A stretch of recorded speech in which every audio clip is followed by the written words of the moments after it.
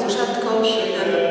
No, on sięga co najmniej 30%, ale są niektórzy, którzy twierdzą, że 50%. innego 20 do 30 ton na hektar w Polsce.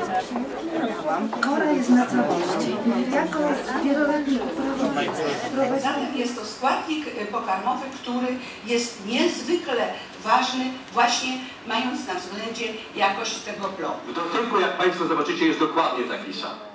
Wytrzymałość ma taki sam, a nie rozkłada się, nie rozkłada się pod wpływem światła, a jest całkowicie biodegradowany.